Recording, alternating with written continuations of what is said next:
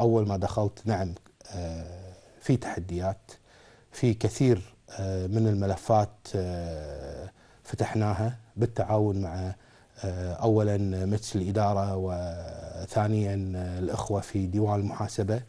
عندنا تعاون قريب مع الإخوة في ديوان المحاسبة بشأن ملف التجاوزات وملف الفساد.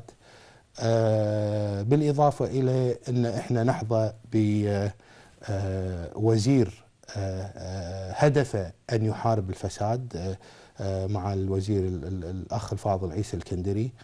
واتيت إلى مؤسسة فيها الكثير من الموظفين وصلوا إلى سن معين ولا يرغبون في العمل. يعني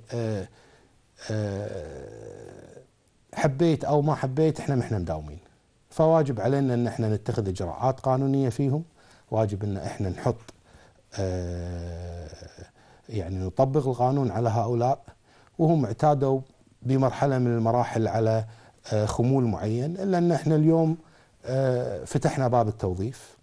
وأتانا بما لا يقل عن 1800 متقدم كويتي. من خيرة شباب الكويت عندهم الطموح مثل الطموح اللي إحنا جايين فيه بالمؤسسة. وأكثر آه هذول اللي راح ياخذون المؤسسة. إحنا ما نبخص بحق الموظفين اللي كانوا موجودين ولكن وصلوا إلى سن معين إحنا نقول إن أنا الوقت إن هم يعني يتقاعدون.